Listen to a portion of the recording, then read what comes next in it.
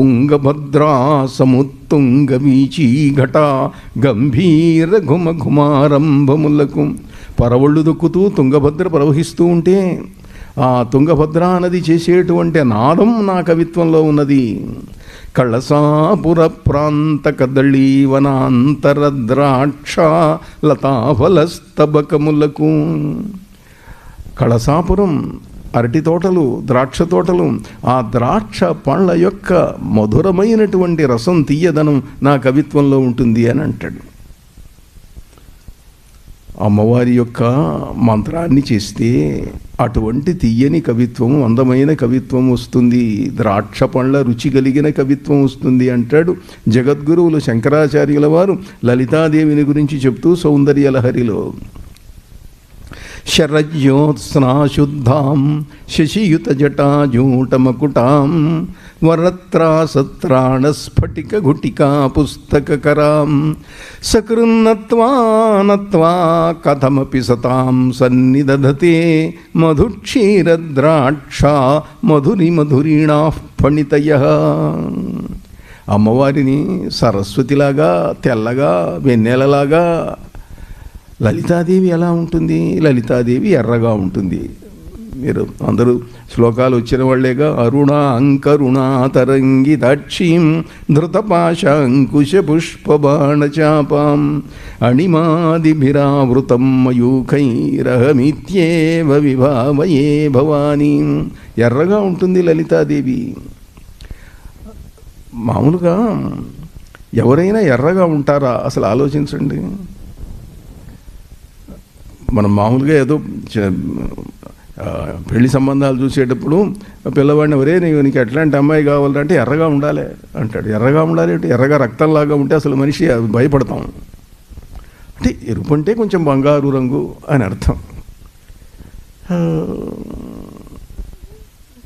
పచ్చగా బంగారు రంగుతో ఉండాలి అనొచ్చు తెల్లగా ఉండాలి అనొచ్చు కానీ ఎర్రగా ఉండాలి. ఏదో ఆచారం ఒక నానుడి అలవాటైపోయింది. నల్లగా ఉండాలి. నాకు నల్లటి వాళ్ళు కావాలి అని ఎవరైనా కోరుకుంటారా? కోరుకుంటారు. అంటే మన మన భారతదేశంలో అంత అలవాట్లేదు కానీ రష్యాలో నార్వేలో స్వీడన్లో సముద్ర తీర హిమాలయ ప్రాంతాలలో లేకపోయేటట్టయితే పర్వత ప్రాంతాలలో ఉత్తర ధ్రువ ప్రాంతాలలో అందరూ తెల్లగా పిండి బొమ్మల్లాగా ఉంటే చూసి చూసి విసుగుబుట్టి కాస్త నల్లగా ఉండేవాళ్ళు దొరికితే బాగుంటుంది అని అనుకుంటారు. వాళ్ళ నవల్స్ చూడండి మీరు. You see that study black young man that the black girl ప్రాచీన కాలంలో కూడా లోకోత్తర సౌందర్యవతులైనటువంటి వాళ్ళందరూ నల్లగా ఉండేవాళ్ళే ఎవరి కోసం భారత యుద్ధం జరిగిందో ద్రౌపదీదేవి ఆమె కృష్ణ.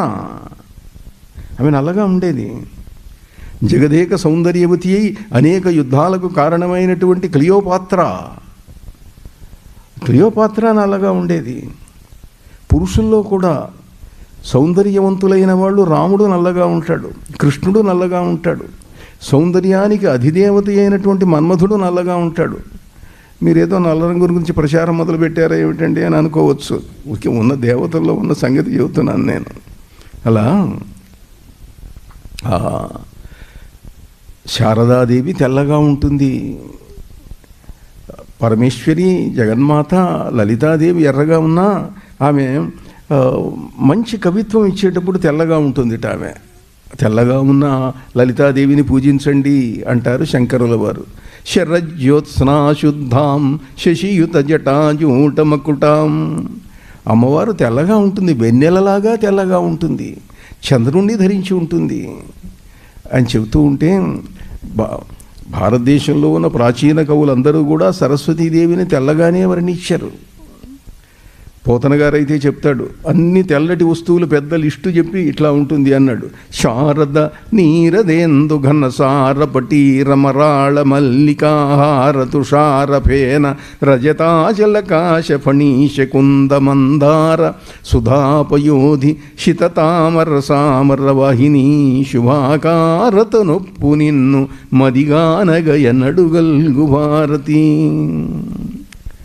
ఎప్పటికి చూస్తానమ్మా నిన్ను? వెన్నెలలాగా స్ఫటికంలాగా చంద్రుడిలాగా శరత్కాలపు మేఘంలాగా అని ఎన్నో మల్లెపూల్లాగా జాజిపూల్లాగా తెల్లటి వస్తువుల లిస్ట్ అంతా ఇచ్చేసాడు పోతన గారు.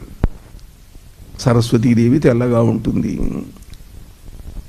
ఆమెను ఆరాధిస్తే మధుక్షీరద్రాక్ష మధురి మధురీణా పణితయ తేనెలాగా పాలలాగా ద్రాక్షరసంలాగా ఉండేటువంటి మంచి కవిత్వాన్ని మంచి మాటలను తీయగా ఉండేటువంటి వాక్ శక్తిని ప్రసాదిస్తుంది. సరస్వతిలాగా అయి తెల్లగా అయి లలితాదేవి ఇస్తుంది అని శంకరుల వారు లలితాదేవిని వర్ణిస్తూ చెప్తాడు ఆయన.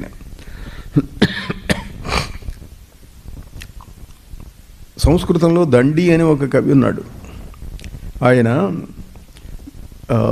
సర్వశుక్ల సరస్వతి సరస్వతీదేవి అంతా తెల్లగా ఉంటుంది అన్నాడు.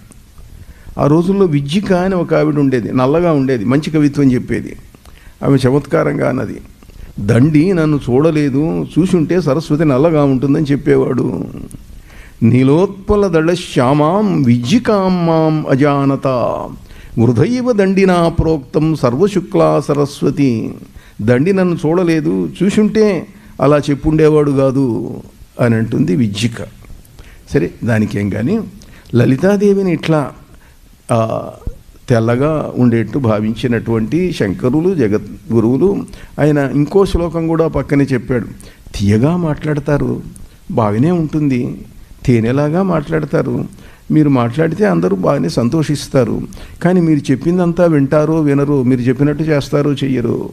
చెప్పినట్లు చెయ్యాలంటే మళ్ళీ వాక్కుకు తీయదన ఒక్కటే కాక వశీకరణ లక్షణం కూడా కావాలి.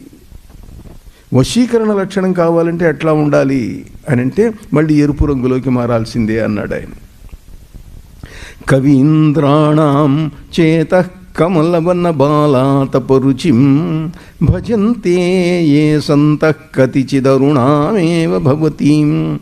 విరించి ప్రేయస్యాస్తరళతర శృంగారలహరి గభీరాభిర్వాగ్భిర్విదధతి సతాం రంజనమమీ.